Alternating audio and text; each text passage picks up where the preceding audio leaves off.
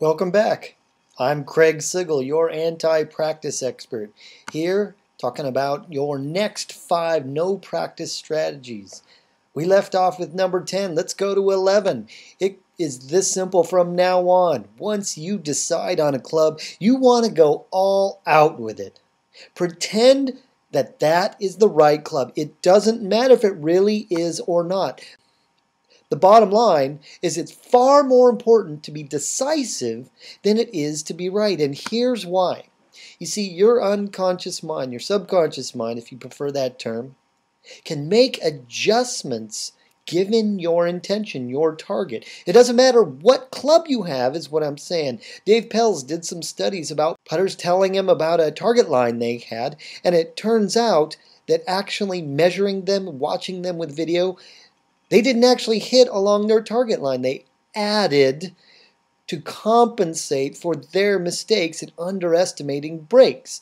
And he came up with this idea, proven that your unconscious mind will make those adjustments. So decide on a club, go all out. No practice strategy number two. This is one of the longest holes in Washington, longest par fours. It is about a 470 yard par four. What you want to do from now on is to change your mindset and your decision making out on the course to eliminating those blow up holes. Stop going for birdies. You will be amazed at how your scores drop.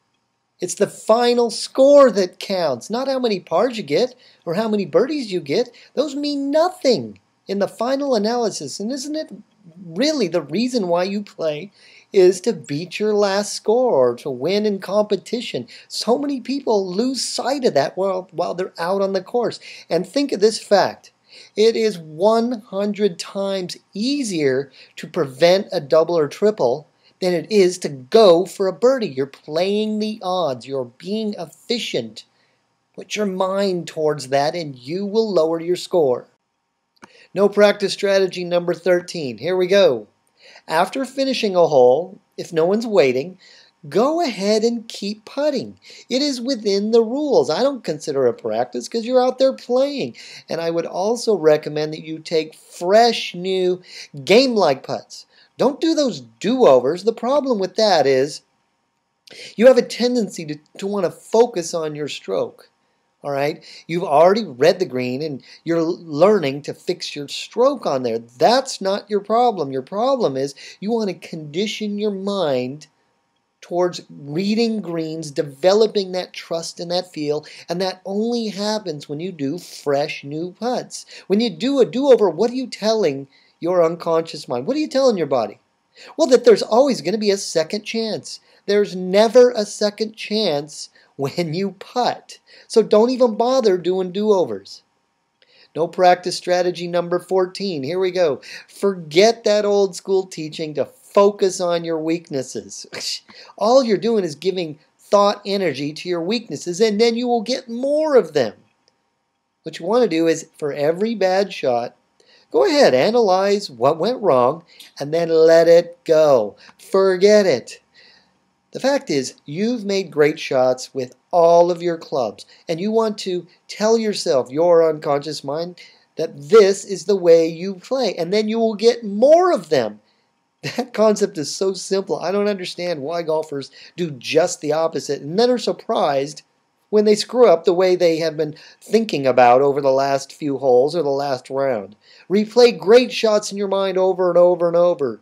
No practice strategy number 15.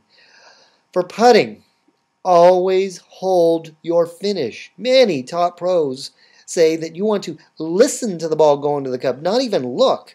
If you want to go that far, great. I can tell you lots of pros have said that they don't even look up like I'm doing in that picture. Here's what happens. If your focus is on holding that finish, you will always have a smooth stroke down your target line. It eliminates so many variables in what happens before you swing. You see, I'm an efficiency fanatic. I'm also a minimalist. It is so much easier to put intention into one singular focus. Our minds are designed to work this way, and we complicate things with all these mechanical movements that we have to remember and concentrate on. No, just hold your finish on the putting. You will be amazed. And when you get that wire, then move on to the next single thing. But that is at the top of the list. This is what Break 80 without practice is all about. Is it a swing system? No. Is it a mental game process? No. Is it about mechanics and drills? No. It's all of the above. It's the quick, fast way to go right to the heart of what it is that you really want out there lowering your score. And it eliminates all that clutter and confusion. I've distilled out of all these pros saying all these contradictory things what it is that can get you to your lowest score when you don't have enough time to spend hours and hours and hours, thousands of balls hitting range balls. And if you can do that, by all means, do it you'll still find amazing benefits out of what I want to teach you.